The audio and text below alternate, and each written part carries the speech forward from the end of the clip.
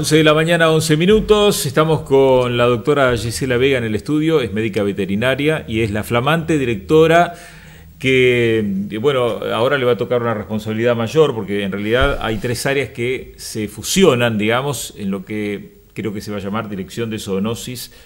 Eh, bromatología, y protección animal. Y protección animal, ¿eh? ¿Qué tal? ¿Cómo estás? Gisela? Bien, bien, estamos bien acá, empezamos una nueva gestión eh, con mucha alegría y mucho entusiasmo. Eh, nosotros ya estuvimos en gestión pública, así que conocemos un poco el área. Eh, yo trabajé mucho tiempo en bromatología en Villa Gesell. trabajé como técnica y como veterinaria, así que bueno, el área de bromatología lo conozco, conozco lo que es las cabinas sanitarias, cómo se manejan. he hecho castraciones también en, acá en Bragado con el doctor Palermo. Así que bueno, el área la conozco. Vamos a ver ahora qué pasa. Está bien. Bueno, claro, son, son tres áreas, estaban separadas las tres, ¿no? Estaban separadas, sí.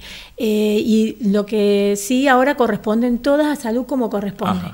el área de zoonosis y bromatología eh, no había dirección, había oficinas y eh, el área de protección animal donde se hacían las castraciones, eh, eso va todo a depender de zoonosis, y, o sea, todo de, salud. De salud, Secretaría de, Salud. Que corresponde, porque es, estamos hablando también de todo lo que es antirrábica y todo eso, salud pública. Y todo lo que es control de cabina sanitaria, que es un filtro importante que tenemos en la población, en el distrito, eso es salud pública. Em, el tema también de, lo que es encefalomielitis de los equinos también es salud pública porque es una zoonosis. Y nosotros tenemos que trabajar también en conjunto con diferentes áreas. Eh, bueno, justamente ese tema está en este momento en el tapete, ¿no? Hay una restricción para el movimiento de caballos. ¿Acá cómo se está manejando el tema? Mira, eh, tuve algunos casos que me han llamado y yo directamente es de denuncia, yo quiero aclarar que eso es de denuncia obligatoria. Hay enfermedades que son de denuncia obligatoria. Una es la encefalomielitis equina, que cuando uno tiene eh, alguna duda tiene que llamar a SENASA, que es el organismo que es el que controla eh, y si no tiene el teléfono Senasa, nos puede llamar a nosotros también, que nosotros nos hacemos cargo del tema. Eh, ¿En qué casos? ¿Ante qué síntomas? Y el equino, eh, cuando presenta síntomas, en realidad todavía en, Argentina no se presentaron casos en humanos. Pero como es una zoonosis, se puede presentar casos en humanos. ¿Qué quiere decir? Que no es que el, el equino contagie o el caballo contagie a la persona, al humano. Se contagian por intermedio del mosquito, ¿sí? Eso para que tengan en cuenta. Pero cuando el animal tiene algún síntoma, eh, lo primero que hay que hacer es alejarlo de otros animales y eh, obviamente que no haya mosquitos alrededor, ¿no? Hay que fumigar, hay que poner un espurón al animal para que un repelente para los mosquitos, ¿sí? Y empezar enseguida el tratamiento. Ajá. Eh, digamos, estoy pensando que una necesidad ahora, sobre todo que volvió la lluvia, ¿no? Es fumigar. Fumigar. Eh, no sé si no debe ser tu área. No, estuve, igualmente eh, estuve hablando con la gente de ambiente para empezar a fumigar porque también es un problema el mosquito por esta encefalomielitis. Claro. Empezamos bien el gobierno, con un problemita. Con un problema. Y bueno, sí, para eso, para eso llegaron, para resolver problemas. Este, ¿Hay un director en el área de ambiente ya o no? Eh, en realidad no, está el anterior. Eh, Pablo Soleta. Sí, y están haciendo la transición. Están haciendo la transición. Eh, bueno, y en tu área, pasando al tema, por ejemplo, las mascotas, ¿no? que es algo que a mucha gente de nuestra audiencia le interesa, porque tienen sus perritos, sus gatitos este, se va a mantener eh, o, se va a modificar eh, eh, los programas que había, por ejemplo, en cuanto a vacunación antirrábica, castración, que es un tema siempre muy reclamado, ¿no? porque se trata de controlar un poco el número de, animales. ¿no? Bueno, yo lo veo esto como algo multifocal, no es solo hacer castraciones, esterilizaciones. vamos a, a trabajar también con la educación eh, con, o sea, eh, vamos a ir a los jardines, vamos a hacer tenencia responsable, eh, todo lo que sea perros, perros mordedores o peligrosos. Vamos a hacer también un trabajo como yo un montón de un año lo hice cuando estaba con Aldo, hicimos ese trabajito y me parece que es fundamental. Por un lado eso, por un lado las castraciones van a continuar, van a continuar las castraciones en los cuarteles. Hace un mes que no se hace castraciones porque en el área no hay anestesia, no hay ketamina. Ah, y, Y no es que uno pide como cualquier otro medicamento la que, y te viene enseguida, no. Eso es un trámite que hay que esperar. Por eso lo que yo le pido a la comunidad es que tenga paciencia, porque estamos eh, recién arrancando y hay que acomodarse. ¿Y no había por qué? ¿No se compraba por qué? ¿Faltaba? O... Mira, en realidad eh, yo como veterinaria privada nunca me, me faltó la ketamina. No ah. sé por qué mm, faltó. Eh, no sé si, si, hicieron tarde los pedidos, no sé. O por falta de recursos. todavía no. Eh, tengo que ir a hablar ahora con, con, René, que es el que está encargado de las compras. Ah, René Abelardo. Claro, para ir a ver qué es lo que pasa, qué pasó y bueno, vamos a ir viendo. De a poquito vamos. Está bien, está bien. Eh, ¿Va a continuar el quirófano móvil? El quirófano móvil, en este momento hay que hacerle algunas modificaciones. vamos a ver si para los cuarteles yo lo quiero destinar para los cuarteles. Y después eh, mi idea es hacer, eh, que le presenté el proyecto a la secretaria de salud y el intendente, es hacer un centro de zoonosis. Ajá ojalá sería lo ideal hacerlo de cero, pero en este caso vamos a ver si eh, buscamos un lugar acorde para que yo mis áreas las tenga todas juntas, porque en este momento es medio complicado, eh, estoy en un lado, en otro y no estoy en ninguno. Claro, porque eran tres oficinas separadas. tres oficinas, claro, hay una que está en Núñez, otra que está en General Paz y la otra que está en el Parque Industrial. Claro. Eh, entonces, bueno, hay personas que no tienen un lugar físico donde quedarse o dónde juntarse. Eh, entonces, bueno, vamos a buscar un lugar físico donde yo, mi idea es poner un quirófano habilitado por el, por el Colegio de Veterinarios, que ahí se hagan las castraciones, que la gente se acostumbre a que haya un lugar. ¿Los actuales no están habilitados? Los actuales no están habilitados, ah. no, no. Porque funcionaban tres, uno en el Fonavi 2, otro en el Parque Industrial y el móvil. El móvil, exactamente. Pero bueno, eso vamos a ir arreglándolo de a poquito. Son cosas técnicas que hacen a, que el trabajo sea mejor. Está bien. O sea que en, la ciudad, digamos, la idea es tener un lugar físico a donde la gente vaya, o sea, no, no que ande por los barrios. Eh, no es la idea, porque eh, para que tengas un quirófano tiene que tener agua, tiene que tener em, aire acondicionado en verano, eh, tienes que tener un lugar donde los animales se puedan recuperar después de la anestesia, o sea, tienes que tener un, un pre y un post operatorio. Está bien.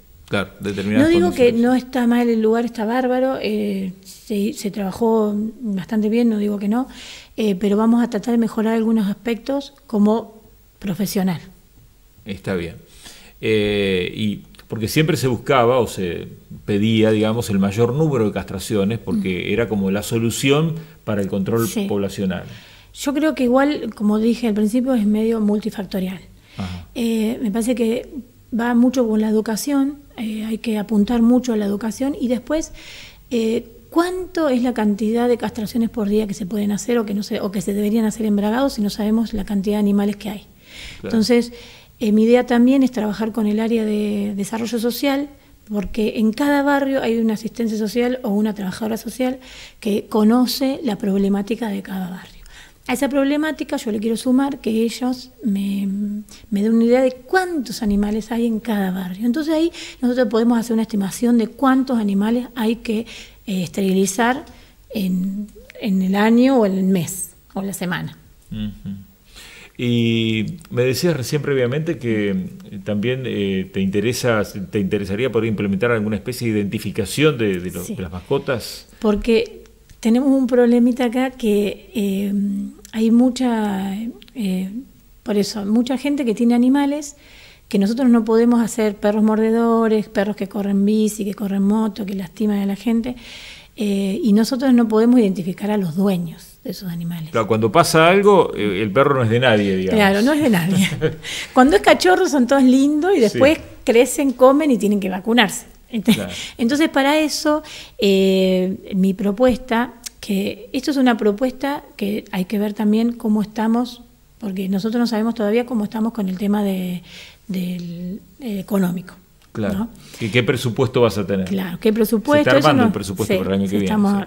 Entonces, mi idea, es que lo hacen en otros municipios, eh, yo tengo colegas que trabajan en otras zonas de zoonosis y que me, parece que es lo más correcto, lo más fácil de llevar, es ponerle un chip identificatorio a cada animal que se dé en adopción y que el animal, el que lleven a esterilizar, también se les ponga un chip identificatorio. Entonces ahí vamos a saber que el dueño, quién es el verdadero dueño, el documento del animal vendría a ser. Claro, un chip que se pone debajo de la piel. Es subcutáneo, sí. Ajá. Está bien. Sí, eso se, implementa en otros lugares. Sí, sí, sí, se implementa. Eh, se está utilizando mucho en equinos también. En realidad, los perros de, mm, eh, de razas eh, caras tienen chip, casi todos. Ajá. ¿Sí? Chip de rastreo y para que saber dónde está para encontrarlo, ¿no? Bueno, ¿y qué otros lineamientos hay en, el área? Y mira, eh, yo voy a trabajar fuertemente porque a mí, como veterinaria, me interesa mucho la salud pública. Eh, voy a trabajar muy fuertemente con la gente de bromatología. Con, yo tengo un equipo lindo de bromatología. Eh, vamos a trabajar con, bien con el control, el filtro sanitario de bragado, que es la entrada de los camiones que traen mercadería de otros lugares. Ajá. Eh, bueno, se trabajaba que a la mañana nada más, hasta las 13 horas eh, hay un control y después de las 13 no hay nada. Vamos a tratar de poner otro control a la tarde y, después se van a llevar registros que no se estaban llevando, eh, registros de la entrada y de la entrada sobre todo de, camiones de otros lugares. Claro, cuando viene a traer mercadería que, que puede ser este, bueno, puede tener alguna complicación, de hecho se han descubierto cosas. Es importante, sí. Y después vamos a trabajar fuertemente con el tema de los chacinados que no estén habilitados por la provincia. Eh, bueno, esos chacinados no podrían entrar en Abragado. Eh, y bueno, en ese sentido, eh, esa es mi preocupación en este momento. Además de los animales que no tienen dueño, los perros mordedores, las castraciones, es una de las cosas que más me importa. Está bien. Bueno, Gisela, éxitos. Recién estás empezando, por lo tanto es más que nada informativo y presentarte, a vos te conocen, pero bueno, presentarte como la nueva funcionaria del área. Y bueno, supongo que tenés relación con las agrupaciones animalistas, por ejemplo. Sí, sí, por supuesto, sí. Ahora, en esta semana no, pero la próxima vamos a empezar a reunirnos porque a mí me interesa la opinión de todos, porque esto se hace en conjunto y después a la población también que que tenga paciencia, que vamos a empezar, que estamos empezando, pero que hay un sistema que todavía hay que poner un poquito de aceite. Claro, claro, sí, sí, sí. Y es un, todo un tema, los, animales en la calle, no sé cuál es tu visión, mm. pero es todo una problemática, porque causan accidentes, causan mordeduras, pero había, por ejemplo, en la gestión anterior, una idea de que y los animales en la calle hay que dejarlos en la calle. O sea, claro, eh, que como que no... Sí. Salvo que ocasionen algo, pero a veces no, no sabes cuándo, en qué momento te pueden causar un problema, ¿no? Sí, yo digo siempre, yo salgo mucho a correr y los animales cuando vamos por, por la laguna hay 10 por lo menos que nos siguen y que no pasa nada que nos sigan, pero sí eh, persiguen mucho las bicis a los chicos que andan en bici, a los que andan en moto, eh, y es peligroso, es peligroso porque pueden ocasionar algún accidente. Pero bueno, nosotros todavía no sabemos cuántos accidentes ocasionaron, eso no tenemos ningún dato. Para hablar tenemos que tener estadísticas. Y además saber dónde destinarlos. Tener dónde destinarlos. Eh, ¿Quién los va a cuidar y alimentar? Sí, mañana vamos a ir a, Santo Domingo, eh, que se está haciendo un trabajo interesante.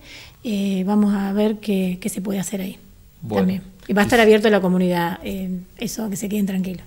Bueno, Gisela, eh, desde nuestro lugar está abiertos a informar todo lo que sea necesario para la comunidad. Tenemos un momento mascotero nosotros en ah, el programa. Bueno, buenísimo. Donde ahí volcamos toda esa información de manera de contribuir, digamos, a, las campañas que se han hecho y que se van vayan a hacer para, para bueno, para que, porque en definitiva es para la solución de un problema de todos, ¿no? Eh, sí, sí, la solución de un problema y también eh, yo tampoco quiero tener animales encerrados porque ellos pobres son víctimas de un sistema que, los abandonó y que no tienen la culpa. sí, el problema lo generamos nosotros los seres humanos, ¿no? Desde ya. Pero bueno, este, algo hay que hacer. Hay que gracias. Hacer. ¿eh? Bueno, gracias a ustedes. Bueno,